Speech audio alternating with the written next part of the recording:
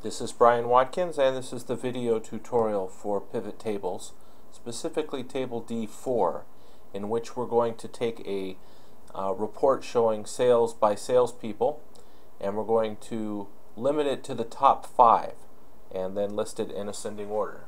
So we're doing a value filter and a sort at the same time.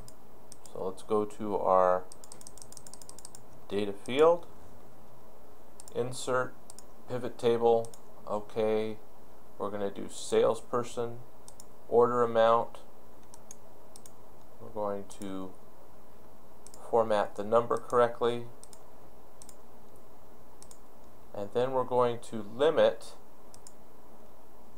by way of a value filter to the top five salesmen.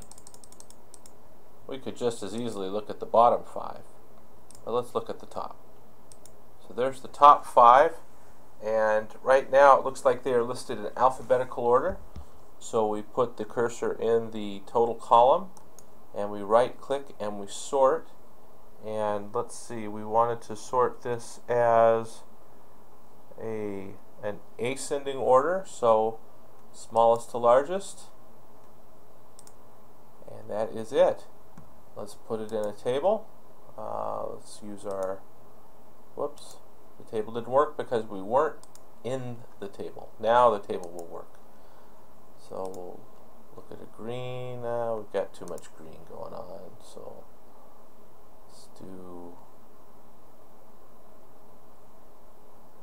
the blue one. And there we go. So we have our top five salespeople in ascending order.